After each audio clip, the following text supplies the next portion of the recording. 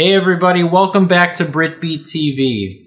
Today, I would like to talk a little bit about some of the guitars that Britbeat uses on stage. You know, one of the big questions we're asked at all of our shows is, what kind of guitar is that? Is that a reissue? Is that a vintage guitar? So today I thought it'd be fun to start with one of the basses that I use on stage, and that is the Hofner 500-1 Cavern bass. It's nicknamed the Cavern Bass because of the Cavern Club back in Liverpool, where Paul used this bass quite a bit. There's a lot of video and pictures of Paul using this bass at the Cavern Club, which of course nicknamed it the Cavern Bass.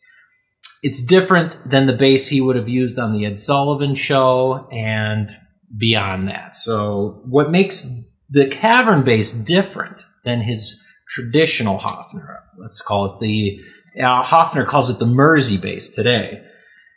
What's different is this one has a neck and a bridge pickup that are closer together. It creates a real unique tone. It's a thumpy, bassier tone.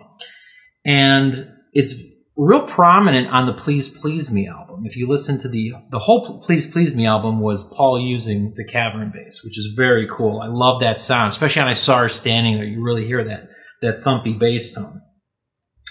It's got two Hofner Diamond logo pickups, which is different than the staple top pickups on the other Hofner that Paul uses.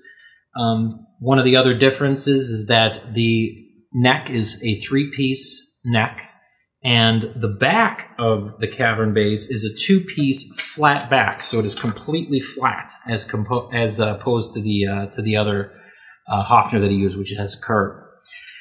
So uh, this bass also historically was refinished in 1964. Paul, uh, it was quite beat up. Paul had to have it redone, refinished, and that is what you see here. That is this. I had this redone and refinished so that it it mimics and appears like Paul's as it was in 1964 after it was refinished.